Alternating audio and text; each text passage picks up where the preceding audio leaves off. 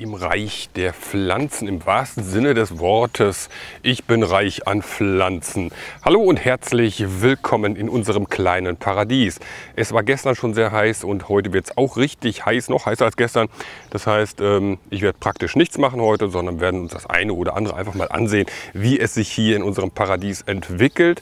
Egal ob Baum, Bonsai, Hörst du das? Moment, ich hole ihn mal. Das ist die automatische Bewässerung. Ähm, ja, wie gesagt, wir machen vielerlei heute mal quer durch den Garten in dem Sinne oder quer durch unser Paradies.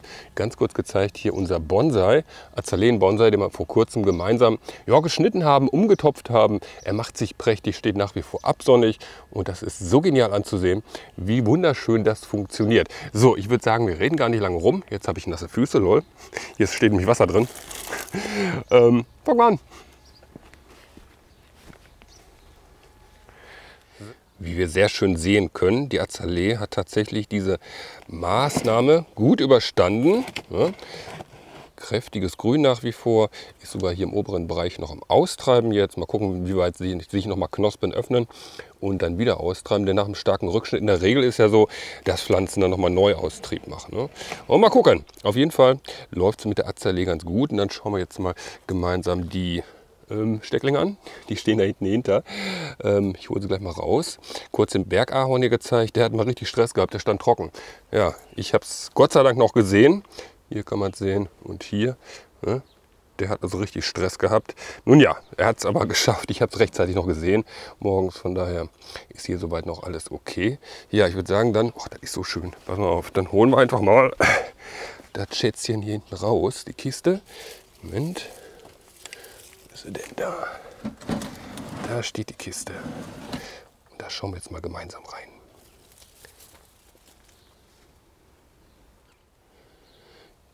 Hier sind jetzt die Babys drin von der Azalee. Pass mal auf, der Deckel war nach wie vor geschlossen hier.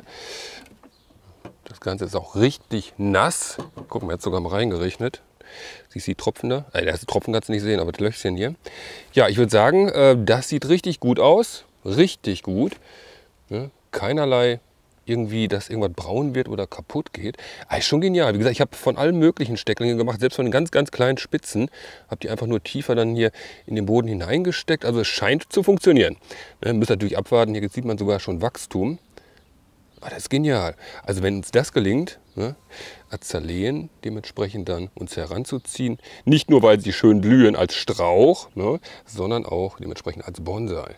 Okay, das ist natürlich mega langes Projekt in dem Sinne, aber man kann ja auch kleine Bonsai machen. Ne? Das ist ja auch nicht das Problem. Okay, dann mache ich mal den Deckel wieder zu hier und stelle das Ganze ganz schnell absonnig wieder. Aber das ist so schön anzusehen, wie das Ganze jetzt wächst. Ne? Wenn es ausreichend gewässert wird. Also schon heftig. Also ich muss jetzt mittlerweile 600 Liter Wasser verbrauchen. Ja, einmal am Tag. Manches muss auch zweimal gegossen werden. Da staunst du, wa? Ja, der Detlef war gestern Abend fleißig, glaubst du wohl. Ähm, ja gut, ist jetzt nicht so viel, was ich gemacht habe, ne? aber immerhin. Äh, Nicole kann jetzt hier auch durch. Ne? Dann kann sie auch hier oben sitzen, dann abends allerdings erst, weil abends ist hier richtig schön schattig und dann ist das natürlich mega angenehm hier. Ähm, was schauen wir uns denn jetzt an? Ähm, Moment mal, ich würde sagen, ich schaue mal kurz. Dann gehen wir mal hier kurz durch die Wildnis. Ich glaube, hier werde ich heute ein bisschen was machen, damit ich das auch äh, ne, besser wieder präsentieren kann. Denn die Tomate ist so schön. Und wenn die jetzt ausreift, ist das Bild natürlich wesentlich schöner. Obwohl, das ist so auch schön. Ne? Doch, das ist so auch schön. So, das wollte ich ganz kurz zeigen. Die Baumchili. Hier ist tatsächlich die erste, jetzt kannst du natürlich nicht viel sehen bei dem Licht, die erste Frucht, die jetzt auch tatsächlich wächst hier.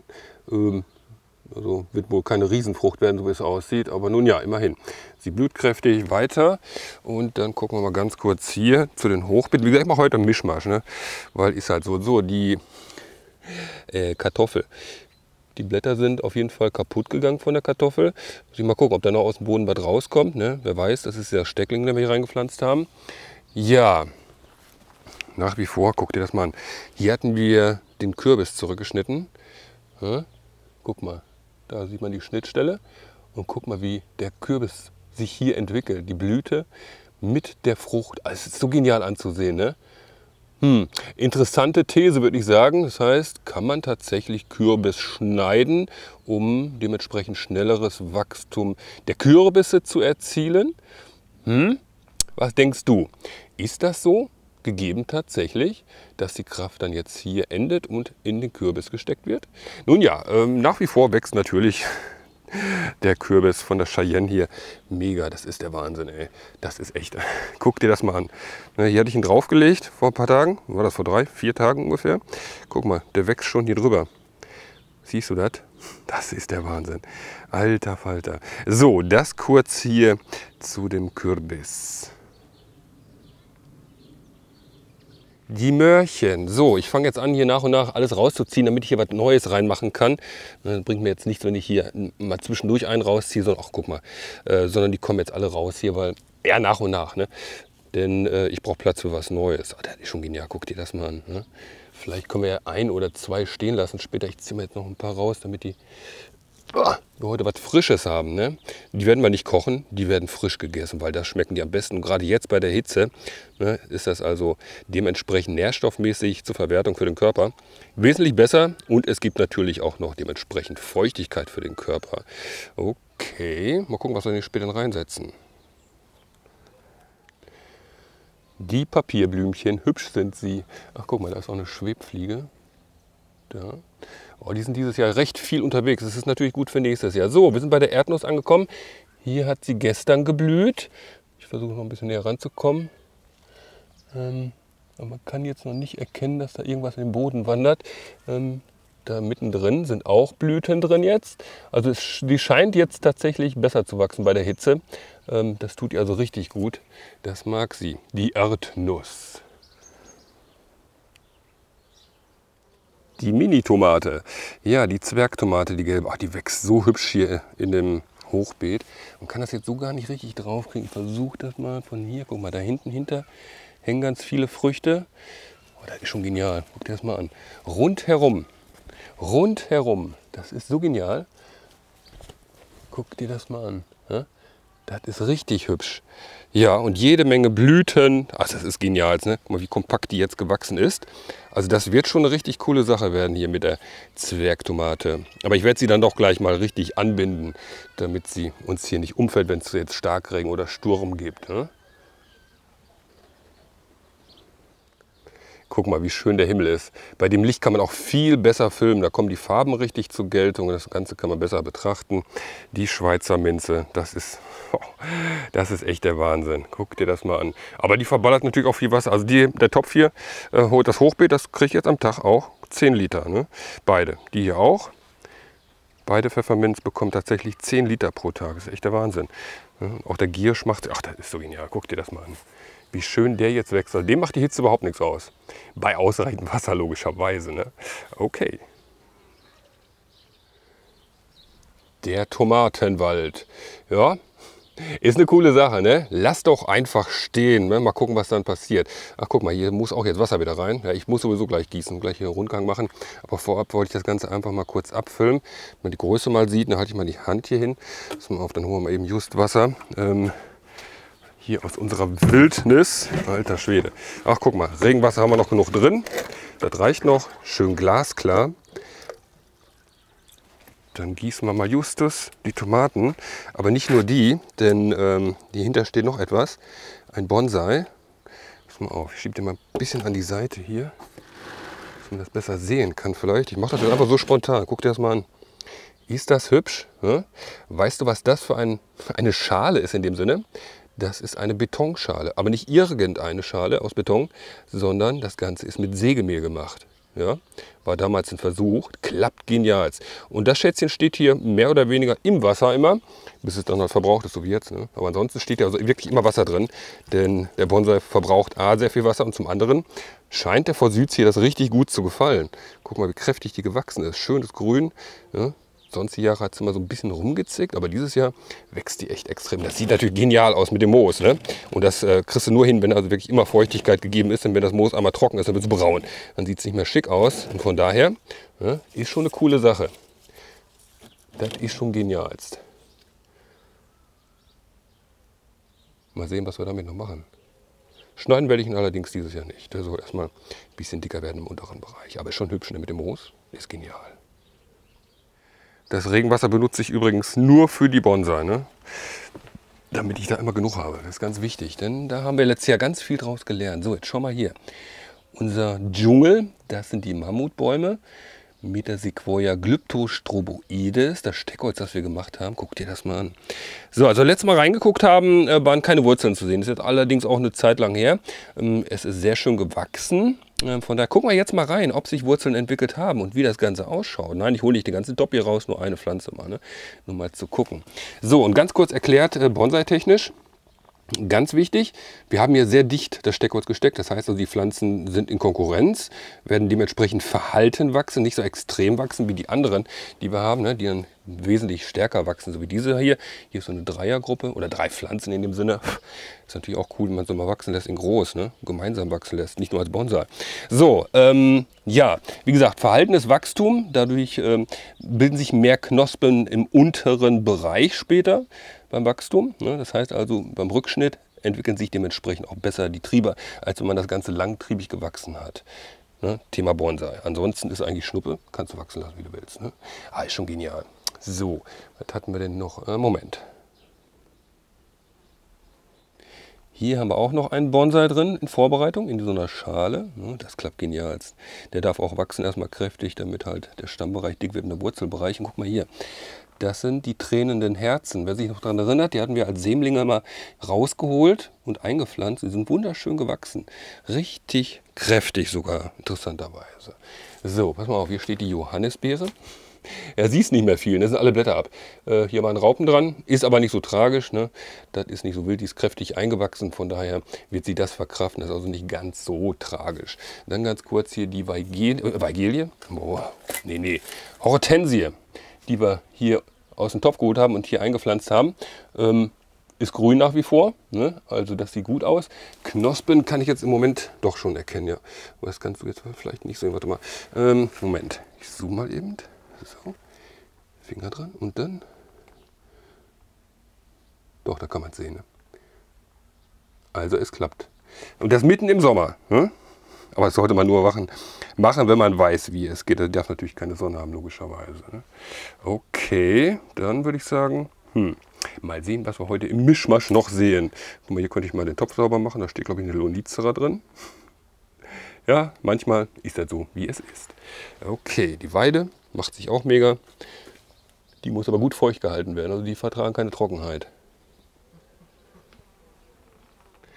So, und zeige euch mal kurz unsere Mammutbäumchen. Der hier ist etwa drei Jahre alt, ist dieses Jahr mächtig gewachsen, also so ein Stück mittlerweile schon. Ne? Also wenn die erstmal eingewurzelt sind, dann gehen die richtig ab. Pass mal auf, dann zeige ich euch den Kandidat. Ich muss gleich umbauen hier unbedingt, ne? damit Nicole auch sieht, dass ich hier was mache. Nicht nur draußen rumturne.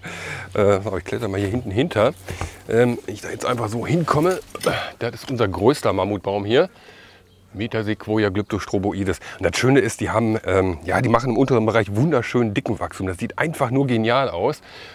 Einfach nur herrlich. Ganz wichtig ist hierbei, die dürfen keine Trockenheit haben. Also wenn sie einmal trocken stehen, dann werden die Nadeln natürlich, die Blätter in dem Sinne, Nadeln äh, braun. Ne, das äh, ist dann auch nicht mehr reparabel in dem Sinne sterben natürlich nicht so schnell, aber sie zeigen einem das dann sofort, wie wir es vorhin auch bei dem Ahorn gesehen haben. Da muss man schon aufpassen, also immer ausreichend Feuchtigkeit haben. Und wenn du so ein Schätzchen jetzt äh, in den Boden pflanzt, im Garten oder wo auch immer, da solltest du auf jeden Fall einen Standort wählen, wo es relativ feucht immer ist. Also wenn es im Sommer richtig heiß ist, so wie jetzt diesen Sommer, wo da, ähm, ja ich sag mal so Gegebenheiten sind, wo der Boden richtig austrocknet, dann leiden natürlich auch diese Bäume dementsprechend. Da sollte man schon darauf achten. Also nicht auf den Hang pflanzen oder auf den Berg oder dergleichen, sondern ne, dann doch darauf achten, dass der Boden dementsprechend auch ausreichend Feuchtigkeit hat, noch auch wenn es richtig heiß wird, so wie diesen Sommer. Ja, so wie heute. Hier sind auch so ein paar Nadelspitzen tatsächlich schon braun geworden. Das ist also der Stress jetzt durch die extreme Hitze. Das, die Pflanzen leiden dadurch natürlich auch, genauso wie wir auch. Viel Wasser, Wasser, Wasser, Wasser, ganz, ganz wichtig. Ne? Und nicht zu viele Nährstoffe, denn mehr Nährstoffe bedeutet auch, dass der Wasserhaushalt höher sein muss. Und von daher muss man da ein bisschen aufpassen jetzt beim Düngen. Da sollte man auch wirklich warten, bis es wieder etwas wärmer wird. Und wenn sie auch mal eine Zeit lang keine Nährstoffe kriegen, ist nicht so tragisch. Ne? Schlimmer ist es, wenn sie ausreichend Nährstoffe haben und zu wenig Wasser bekommen, dann gibt es tatsächlich Wurzelschaden auch. Und das wäre natürlich nicht so optimal. So, und jetzt schauen wir uns uns mal die neuen Steckhölzer von diesem Frühjahr an, wie die jetzt aussehen. Beziehungsweise eine. Ne? Ich werde es nicht alle rausholen, denn ich möchte sie drin wachsen lassen. Ups, damit sie, wie gesagt, äh, ja, ne, nicht zu kräftig wachsen. In der Gemeinschaft wachsen sie dann doch gedrungener. Und von daher machen wir das jetzt mal Justus und gucken hier mal rein. Ja, ist schon aufregend, wenn man selber etwas heranzieht und vor allen Dingen, wenn man weiß, wie es geht, nicht mehr experimentieren muss. Ne? Bei den Mammutbäumen wissen wir mittlerweile, wie es geht und von daher ist das natürlich genial. So, ich versuche jetzt einfach mal hier rundherum hineinzustechen um die Pflanze. Es geht relativ einfach, da wir auch hier Kokoserde verwendet haben. Wenn er jetzt nicht zu tief eingewurzelt ist, müsste ich ihn einfach so herausziehen können. Mal gucken, so tief wie möglich. Ich ziehe mal vorsichtig. So. Ziehen kann ich noch nicht. Also noch tiefer. Alter Späte. Okay. Dann scheinen sich hier doch schon mächtig Wurzeln entwickelt zu haben. Tada. Ja, es ist tatsächlich jetzt soweit. Sie haben Wurzeln gemacht. Ne? So, den werde ich jetzt gleich wieder einpflanzen. Allerdings jetzt woanders, denn ja, den hier wieder einzupflanzen, da wird er ein bisschen Schwierigkeiten haben, weil die anderen dann schon gewachsen sind mit den Wurzeln und er wieder Wurzeln machen muss. Das ist natürlich ein bisschen, ne, ist dann nicht so gut, okay? So, also hat das wunderbar auch in diesem Jahr wieder funktioniert mit unseren Mammutbaum-Steckhölzern. Das ist so genial. So einfach kann das gehen. Absonnig stellen und gut ist. Wurden bis jetzt, äh, ja doch einmal habe ich sie jetzt schon gedüngt beim letzten Düngerdurchgang hier. So ist das, ne? Jetzt muss man Kaffeepott herhalten. Ich habe ihn schon sauber gespült gerade. Ähm, ganz wichtig ist momentan Wasser, Thema Wasser. Ne? So, wir können diese Bäumchen tatsächlich ins Wasser stellen und auch hier drin stehen lassen. Ne? Die letzten Steckhölzer, die wir gesehen haben, die gewachsen sind, die Dreiergruppe vorhin, da ist tatsächlich so, äh, die standen den ganzen Winter draußen in solch einem Untersetzer mit etwas Wasser drin. Und dementsprechend natürlich auch gefroren und hast du nicht gesehen. Ne? Ja, das hat funktioniert. Sie haben überlebt, wie wir sehen. Sie sind dann tatsächlich gewachsen, nachdem wir sie eingepflanzt haben. So, was habe ich gestern vorbereitet? Auch hier wieder mit effektiven Mikroorganismen. Also das handhaben wir jetzt immer so, weil es besser läuft. Es ist tatsächlich so. Ich habe noch nie so ein geniales Wachstum gesehen bei Pflanzen. Egal ob nur Bonsai, Blumen oder hast du nicht gesehen, Gemüse und, und, und. Sie wachsen tatsächlich mit den effektiven Mikroorganismen besser. Frag mich nicht, woran es liegt. Es ist so gegeben. Okay? So, dann stellen wir den erstmal absonnig und mal gucken, was ich damit noch mache. Der Sonnenhut, er fängt an zu blühen hier in der Weide. Die steht auch im Topf, die Weide. Und ja, es ist genial anzusehen, wie, dies, wie das funktioniert, ne? dass die tatsächlich kräftig wachsen hier drin. Ne? Irgendwie kommen die gut miteinander klar. So ganz kurz zu der wilden Karde, vielleicht kann man es jetzt schon erkennen. Ähm, ja, also die Hummeln lieben die wilde Karde. Die sind den ganzen Morgen hier schon zugange, holen sich dort ihren Nektar raus. Oh, das ist so hübsch, ne? Ja, es ist genial. Also auf jeden Fall einen mega Nutzen hier, dementsprechend für die Insektenwelt. So, und dann schauen wir uns jetzt mal das hier an. Der Baum auf dem Stein, das ist so eine geniale Geschichte. Hm? Ja, ich würde sagen, der ist jetzt auch soweit fertig, hm, dass wir tatsächlich den oberen Bereich gestalten können. Im Frühjahr, jetzt noch nicht. Ne? Das machen wir im Frühjahr.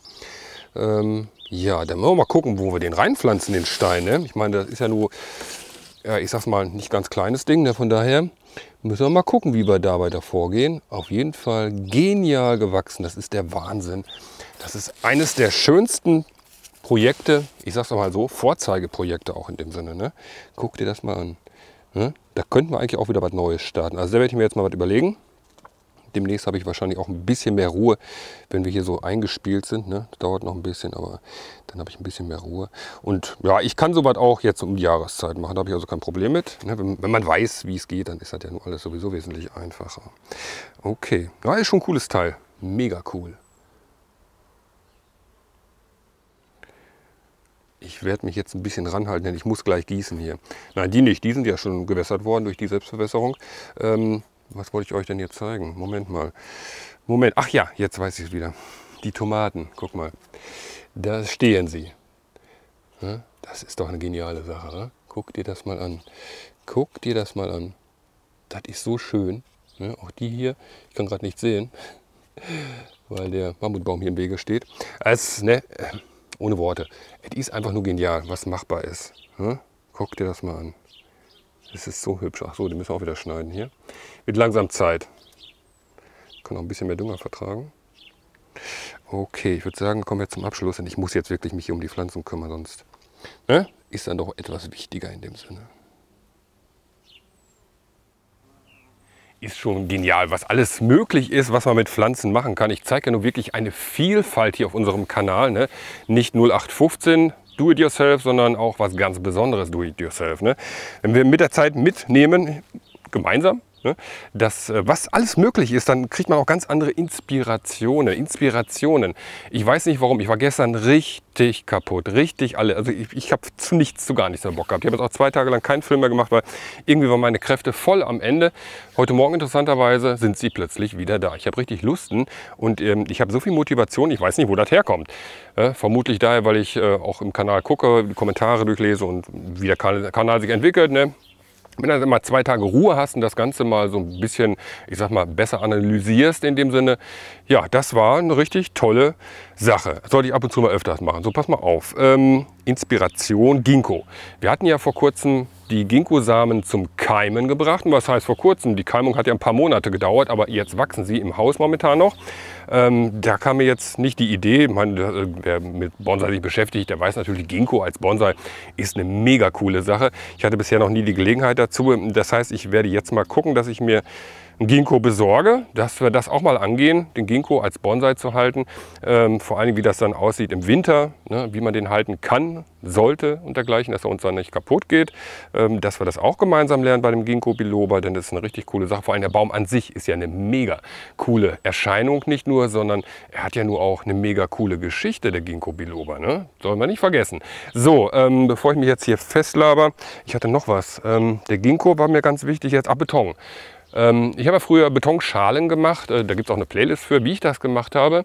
Da kann ich mich auch selber mal wieder reinsetzen in dem Sinne, in die Playlist. mal gucken, was ich da damals gemacht habe und vor allem, wie ich das gemacht habe. Wenn das schon längere Zeit her und dann vergisst du dann irgendwann auch, ne, wie das so ganz genau funktioniert. Und das gucke ich mir nochmal an, denn ich möchte doch wieder so ein paar Sachen Beton, in Richtung Beton machen. Ähm, nicht jetzt unbedingt äh, Bonsai-Schalen, vielleicht auch, aber doch eher etwas Kreativeres in dem Sinne. Ne? Da möchte ich mich mal so ein bisschen reinfuchsen jetzt. Wir haben hier eine Zuschauerin, äh, Betonhexe heißt sie, glaube ich. Ne? Ist das richtig? Weiß nicht genau. Die macht ja auch mega coole Sachen im Beton und ähm, ich finde, ja, das ist so, ich möchte jetzt mal wieder was anderes machen in dem Sinne. Ne? Das heißt nicht nur, sondern ich sag mal so mit in dem Sinne, in dem Kanal hier. Ne? Dass wir das auch so ein bisschen nochmal mitnehmen können, was man so alles noch machen kann. Okay? So, wenn es gefallen hat, weiß Bescheid. Winke, winke, bis ganz bald hier im Reich der Pflanzen, unsere kleinen Paradies. Ob eine große Bäume, Bonsai, Gemüse, blühende Sträucher. Obst und hast du nicht gesehen. Auch vielerlei im Topf natürlich, weil heutzutage ja die Gärten immer kleiner werden. Und viele Leute, Leute haben auch nur einen Balkon oder eine Terrasse mit einem kleinen bisschen Grün dahinter. Na, da ist nicht so viel Platz, wie man das früher hatte. Früher gab es ja diese riesen Gemüsegärten mit Obstbäumen drin und dergleichen. Das habe ich als Kind noch miterlebt bei meiner Urgroßtante damals oder meinen Urgroßtanten, Tante Elli und Tante Gretel. Ja, Gott hat sie selig. Das waren zwei wirklich herzallerliebste Seelen. Die haben mir ganz viel in meinem Leben mitgegeben. Ja, ganz herzlichen Dank dafür. Ansonsten würde ich heute wahrscheinlich gar nicht hier so stehen, wie ich das jetzt hier so mache. Trotz meiner, ich sag's mal, kleinen Gebrechen. Ne? Das ist eine geniale Sache, dass man sich dann trotz alledem noch im Leben erfreuen kann und Sachen machen kann, die man auch anderen Leuten zeigen kann, präsentieren kann. Ne? Okay, nicht aufgeben, weitermachen, weißt Bescheid? So, Mann. Ja, das ähm, würde ich sagen, mit dem Ginkgo biloba. Also das äh, muss ich unbedingt machen. Das, das, brennt mir jetzt in der Seele. Da muss ich mal gucken, wo ich da tatsächlich dann mal an eine ordentliche Pflanze dran komme. Am besten wäre natürlich schon eine vorbereitete, damit das Ganze nicht ganz so lang wird. Ne? Ich meine, gut aus dem Samen herangezogen und äh, dementsprechend dann Ne, das können wir ja noch machen. Das ist ja nicht das Problem. Aber ich möchte auch ganz gerne mal na, etwas, ich sag's mal, fast Fertiges haben in dem Sinne. Und mal hier, das äh, mache ich gleich erstmal weg. Ne? Das schöne Beikraut hat gute Dienste geleistet. Hier waren sehr viele Schwebfliegen dran. Das ist also, sollte man im Garten auch nicht vernachlässigen, dass man so Ecken hat, die man einfach auch wuchern lässt. Ne? Nicht unbedingt natürlich in der Präsentationszone, aber in so Ecken, wo man sagt, na gut, da kommt nicht jeden Tag jeder hin.